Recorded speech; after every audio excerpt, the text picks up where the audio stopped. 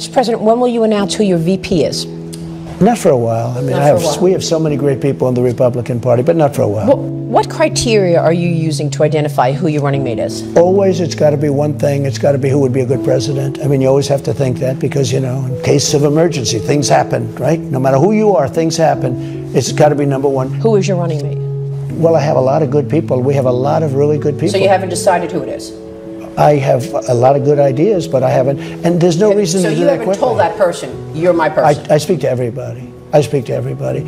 You know, I called Tim Scott this so because a lot of people like Tim Scott. I called him and I said, "You're a much better candidate that for me than you are for yourself." When I watched him, he was fine. He was good, but he was very low key, et cetera, et cetera. I watched him in the last week defending me and sticking up for me and fighting for me. I said, "Man," I said, "You're a much better person for me than you are for yourself." Because for himself, he was low key. For me, he's been he's been a real tiger. He's been incredible, and others have too. Uh, so maybe it's Tim Scott. Well, it could be. It could be a lot of people, but it was interesting. I was watching Tim. I've been watching, you know, for a while. I watched him campaign as a candidate, but I watched him over the last two weeks. Uh, as you know, he endorsed me, fully endorsed me, gave me a beautiful endorsement, and he has been really strong in terms of that. No, but that has nothing to do. I don't want anybody to take even any inference but it's incredible. Uh, Kristi Noem has been incredible fighting for me. She said I'd never run against him because I can't beat him. That was a very nice thing to say. What was the story that your team reached out to RFK Jr.? Did it's you, a false story. No, it's a false. You story. never reached you know out what? to RFK Jr.? I like Jr.? him a lot. Nope, never, never happened.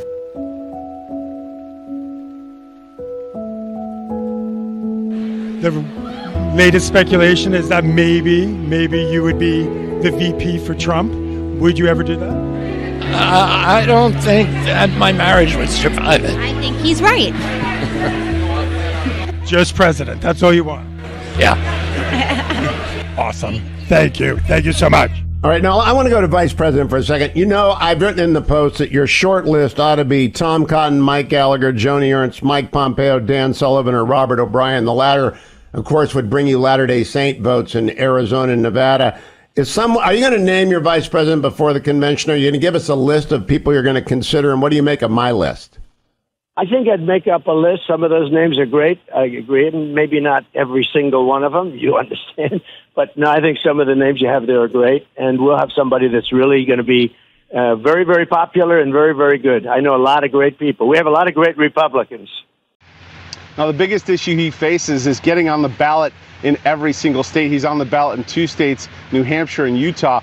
I'd also asked him about something I'd heard President Trump had, had, called him early on and asked him about being his VP. I asked if it were true. Take a look.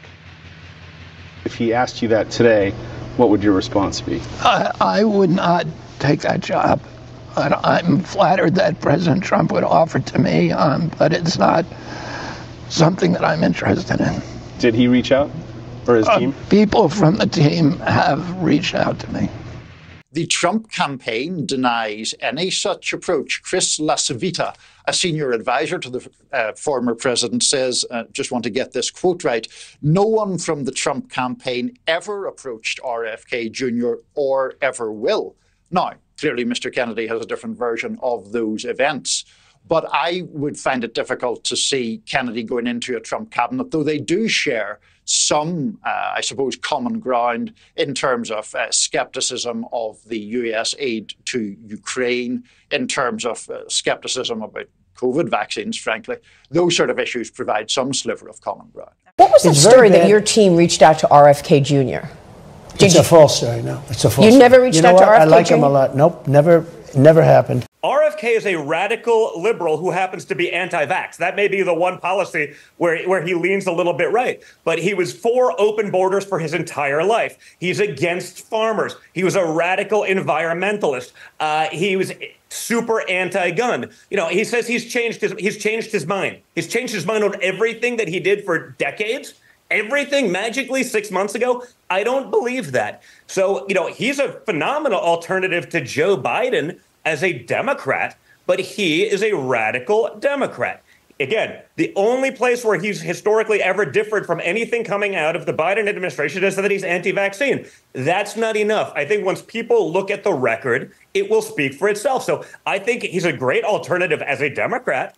You know, maybe if people want to vote that way. But if you're going to vote for RFK, I see he's trying to get libertarians now. I'm like, again, he's anti vax, but literally everything else would not be libertarian. But, you know, it, it, it's all part of the machine to try to stop Trump uh, as far as I'm concerned. And again, I think he's certainly a better viable option, uh, you know, than Joe Biden for the Democrats. Uh, but he's no conservative. Let's not kid ourselves. Let me ask you about your family. Many members of your family have been critical of your campaign. Prominent members put out a statement that said, "quote The decision of our brother Bobby to run as a third-party candidate against Joe Biden is dangerous to our country." Bobby might share the same name as our father, but he does not share the same values, vision, or judgment. Today's announcement is deeply saddening for us. We denounce his candidacy and believe it to be perilous for our country. It was signed by Rory Kennedy, Kerry Kennedy, Joseph P. Kennedy, Kathleen Kennedy Townsend. You know, I don't begrudge them those feelings. I think they're very scared that President Trump is going to get elected and they consider me a danger to the country and the republic because their assumption was that I would take more uh, votes away from President Biden from President Trump. So Donald Trump has to win independents, and that's why the VP pick is so important. Having someone out there who can litigate these cases going on in a way that is credibly received by independents and suburban women. What qualities are you looking for in your vice presidential pick? Well, always the first quality has to be somebody that you think will be a good president, because if something should happen, you have to have somebody that's going to be a great president. A lot of people are talking about that gentleman right over there. And he's been he's been so great. He's been such a great advocate. I, I, have to say, I don't. This is in a very positive way. Tim Scott, he has been much better for me than he was for himself. I watched his campaign, and he doesn't like talking about himself. But boy, does he talk about Trump. And I said, you know, I called him. I said, Tim, you're better for me than you were for yourself. But he's fantastic, and he's a fantastic person. Uh, so no, someone, who can, step in, can someone be, who can step into the role. Most importantly, you have to view that. The audience has uh, been asked who they think would be a good choice, and various names came up. Um, uh, one of them was, of course, Vivek Ramaswamy. Yeah. He's made a big splash. Ron DeSantis, who's making, making an appearance today in South Carolina, we just found out. Um, obviously, Tim Scott, Byron Donalds, and a, a big uh, presence here for Tulsi Gabbard. Um, very interesting. Um, are, and Kristi Noem as well, I should say. Right. Are, are, are they all on your short list? And when can you when can we expect that you will so announce your choice? The one thing that always surprises me is that the VP choice has absolutely no impact it's whoever the president is. It just seems. Uh, I remember when Sarah Palin was actually picked, and she did have a big up, and then mm. uh, they just went after her at a level that nobody's seen. The Republicans themselves went after what they did. But you'll be a one-term president because you've already served, yeah. so you can only serve for one term. Although they say you'll never leave office, I assume uh, yeah, that you'll just, never leave. There'll never be an ele- another say, election Don't again. do it. He'll never leave. He's yeah. never going. Oh, these people. They Um, so for that reason, it is important so, who, who you so pick. So I think it's very important. But look, first is that, as we said, it has to you know, do with whoever is, you know, it's a very important position for that reason. Uh, you would like to get somebody that could help you from the voter standpoint. And honestly, all of those people are good. They're all good. They're all solid. And I always say, I want people with common sense because there's so many things happening in this country that don't make sense. Who wants an open border? Who wants high interest rates? Who wants all electric vehicles? And they're fine, but you want to have choice. You want to go to combustion. You want to go to uh, the any hybrid. I think the hybrid are much better from that standpoint. But you talk. We were talking about faucets. We're talking about we're talking about so much. It's all based on common sense. We want a strong military. We want choice in education. We want to have things that can really make our country great again. What we're doing with the open border is a disaster. We are destroying our country. We're going to change that fast, and we're going to get your energy prices down. Mr. President, thank you so much for this. Our leaders are censoring speech. Our political parties are stifling debate.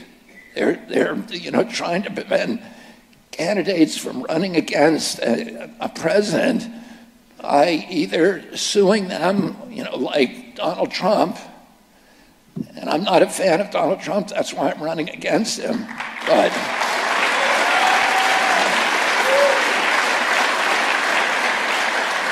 I, I, I don't think we should be a banana republic and remove candidates using the courts.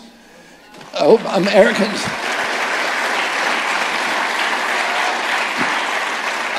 I don't want to beat Donald Trump that way with half the country angry because they couldn't vote for a guy that they wanted. I don't want that resentment and that, that rancor to, to leave that. I don't want to win by, by cheating, by getting rid of somebody.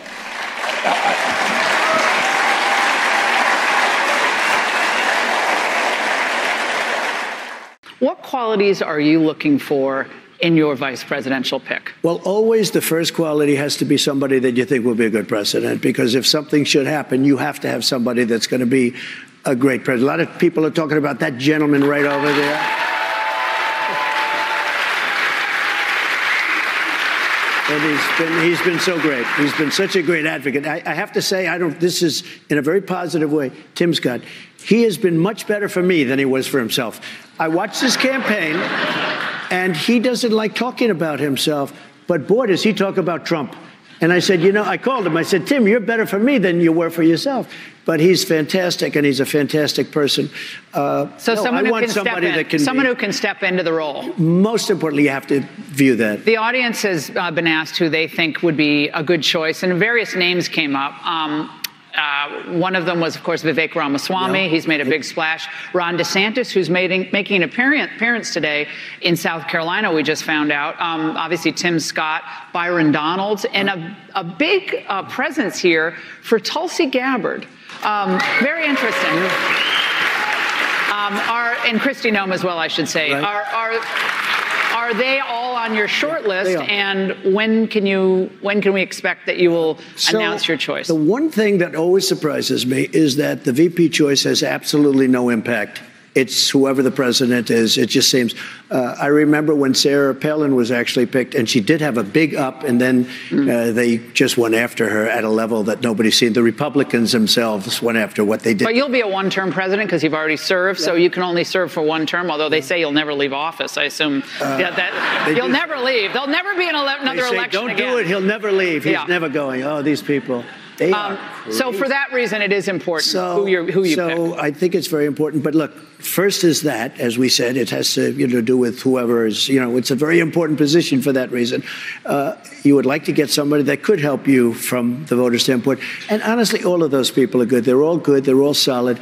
And I always say, I want people with common sense because there's so many things happening in this country that don't make sense. Who wants an open border? Who wants high interest rates? Who wants all electric vehicles and they're fine, but you want to have choice. You want to go to combustion. You want to go to uh, the any hybrid. I think the hybrid are much better from that standpoint. But you talk. We were talking about faucets. We're talking about we're talking about so much. It's all based on common sense. We want a strong military. We want choice in education. We want to have things that can really make our country great again.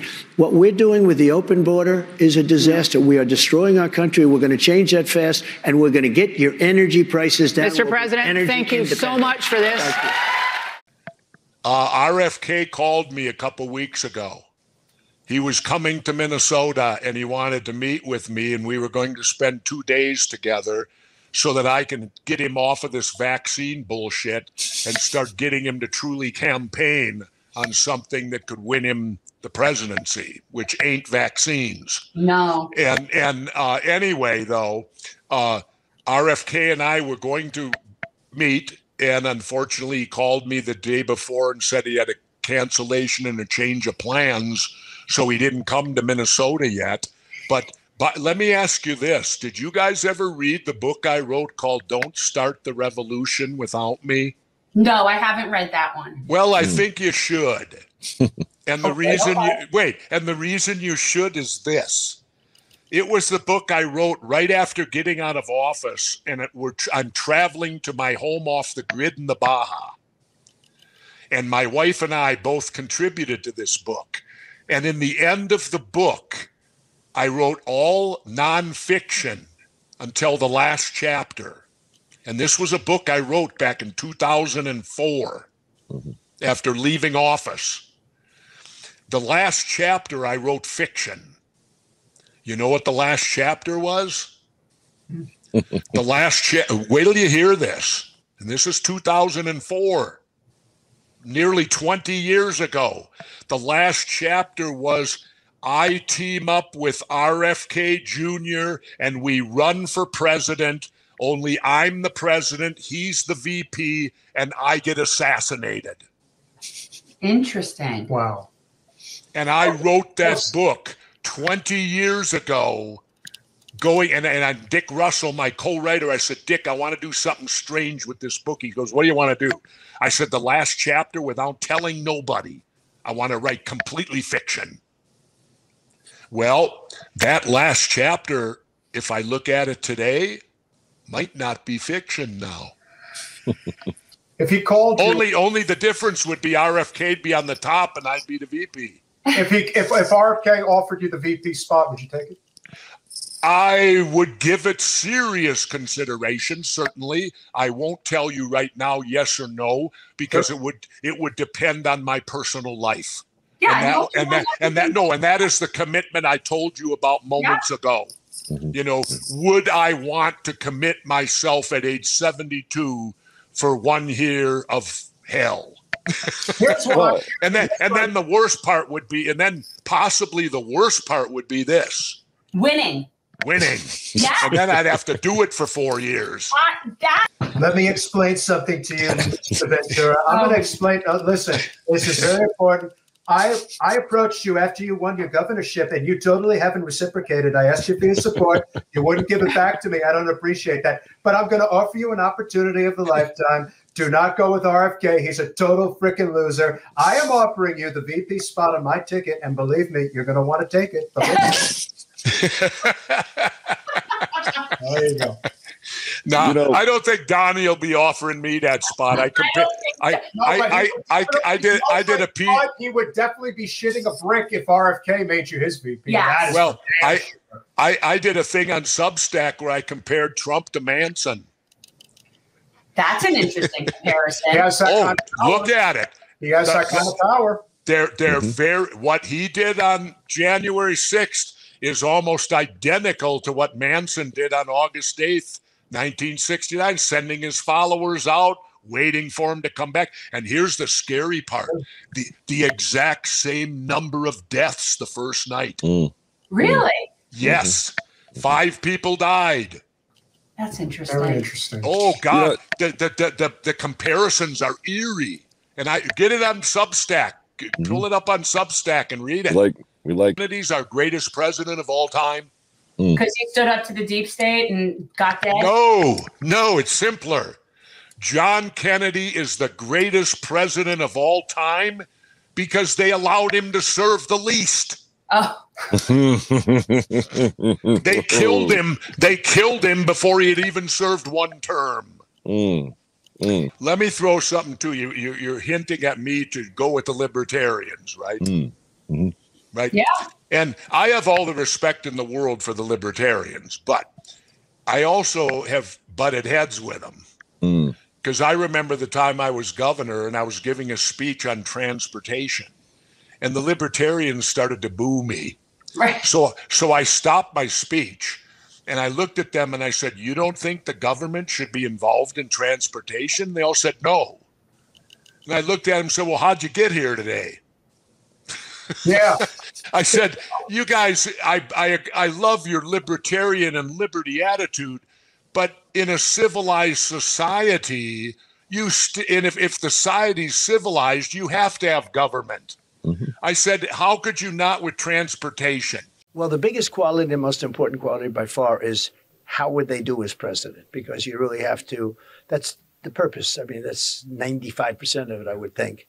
But uh, so that would be number one. But politically, you'd want somebody that's compatible. You also want somebody you can get along with. You want to be able to get along with the VP. You work with them.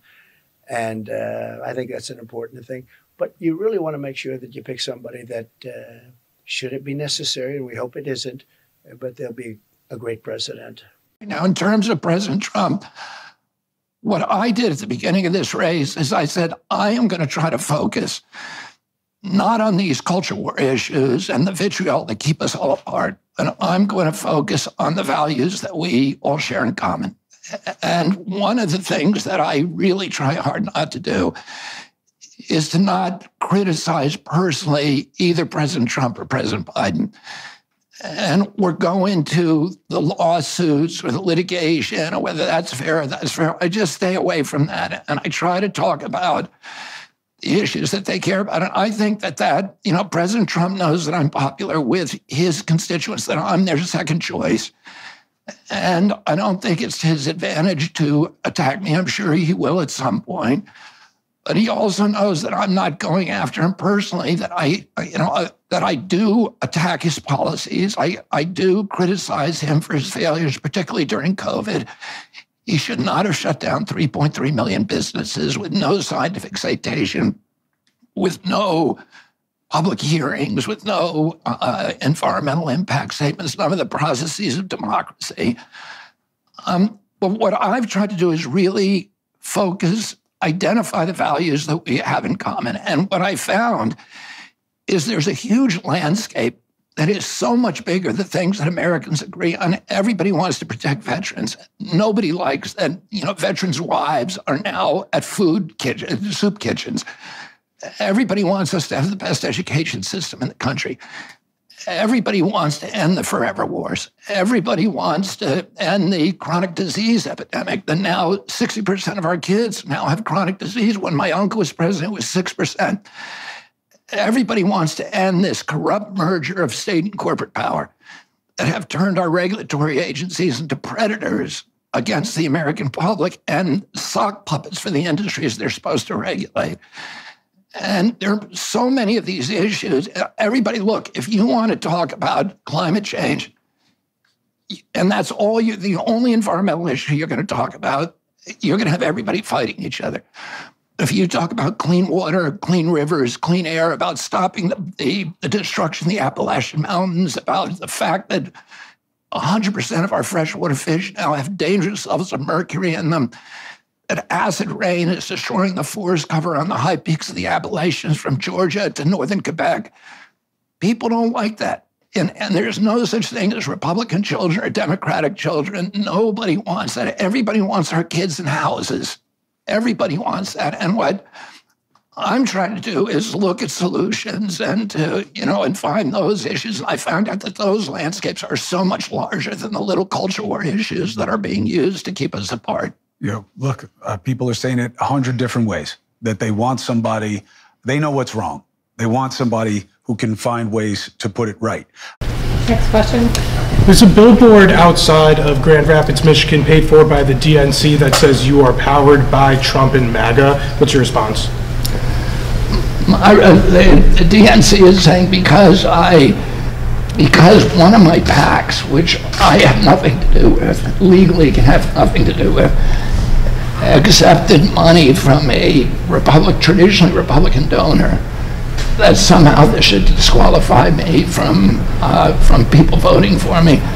Uh, we get money from Democrats, from Republicans and independents, and I'm proud that we're reaching across party lines, that we're trying to bridge the divide. President Biden says that he's trying to bridge the divide, but but uh, this is just the opposite is saying that you know there's a big difference you know that you're not really American if you're a Republican, and I just don't believe that. I think we ought to have presidential candidates that are receiving support across political divides. We need to bridge the divide and heal this. Country. You've chosen not to attack other candidates. Um, they've attacked you, the Democrats in particular. Why do you think they're doing that? Why do I think they're? I think that they don't. They have a candidate who doesn't want to debate. And so they have to try to win the election by litigating against people, by trying to get people off the ballot, by denying me ballot access, uh, by litigating against the other uh, candidates to get them disqualified. So we won't have to do democracy in our country. And, you know, I feel like we should be modeling democracy around the world. I don't want to win this election because I'm not a fan of President Trump's I don't, I don't want to win this election by disqualifying him legally. I want the American people to decide who they want to be have as president, and I want to beat him fair and square on a level playing field. And I think it's distressing that the Democrats don't want to do that. I'm not a fan of Donald Trump's, and that's why I'm running against him. Uh, but I think it's the, you know, I do, I, I've been outspoken about criticizing the Colorado decision and the Maine decisions because, you know, we have a democracy in this country. We don't have a banana republic, at least we're not supposed to. People ought to be able to vote for who they want to vote for. I don't want to beat Donald Trump. I believe that I can beat him in an election and that I can beat him in a debate. And I want it, but I want to do that fair and square. I don't want the playing fields slanted. I don't want to have an election where you get rid of a guy who, you know, a large percentage of the American public want as their leader, and you're going to leave those people feeling angry and frustrated and justifiably so. I've read the opinions. Uh, I don't see how they can stand judicial, you know, Supreme Court scrutiny. I don't think you can get. He, Donald Trump has not been convicted of leading an insurrection. Maybe he did it, but you know he hasn't been charged with it. He hasn't been convicted of it. So you can't really. I, I don't think it's fair. I don't think there's due process in punishing him for a crime that he was never convicted of. It's not. It's not the American way of doing things. And I think, um, and I think as a strategy, that it actually hurts the, you know, the Democratic Party because I think it discredits them and it makes President Trump kind of into a, this mythological figure because people can see that this is not fair. So I want to beat President Trump, but I want to beat him fair and square in an election where everybody gets to vote for who they want to vote for.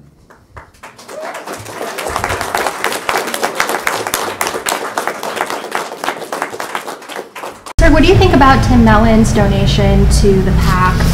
He's a, a donor of Trump's, and in 2015, he wrote in his book uh, that black people were even more belligerent after the expansion of social programs in the 60s and 70s, and that in, belligerent quote was a direct quote. And well, you know, I'm not, I am not legally allowed to talk to my PAC about any of these issues, any of the super PACs. And there are several super PACs that support my campaign. It would be against the law for me to tell a PAC to who or who they could not accept money from. And you know, my opinion is that it's a good thing to have a, to have uh, both Republicans and Democrats and Independents giving to my PAC. I don't know anything about those comments, and I can't verify them or validate them but it would be illegal for me to pick up the phone and tell somebody you can't accept money from that PAC. All right, thank you, everybody. Thank you. I mean, I'm assuming, I don't know any more than you do, Tyreek. I read the polls, and it seems pretty uh, clear to me that my most likely opponents are going to be President Biden and President Trump. Um, my polling now shows me with the highest favorability rating among all of them. So my favorability rating in the Gallup poll that came out yesterday was at 52. Uh, President Trump's at 42. President Biden's at 41. Uh, I beat both President Trump and President Biden among young people under 45 years of age, and I beat them in among independents, which is now the biggest political party. And so, and I still have 10 months to the election. Uh, so I feel, you know, I feel very optimistic about where we're headed. President Trump's not going to bring this back. President Biden is not going to. You know, President Trump, I believe, wants to, you know, drain the swamp. I think he was sincere when he said that. But he appointed John Bolton to run the NSA. He's a swamp creature like the template for swamp creatures. And, you know, Scott Gottlieb, who was Pfizer's business partner to, to run FDA and, you know, and, and Pfizer and Gottlieb did Operation Warp Speed, an $88 billion gift to Pfizer, and then went back to collect his, his paycheck on the Pfizer uh, board. So um, President Biden is not going to unravel it. President Trump is not going to do it. And, you know, I think I'm the only candidate that knows how to do this, that understands how badly we need to do this in this country if we're going to return the middle class. And if we're going to give our kids a chance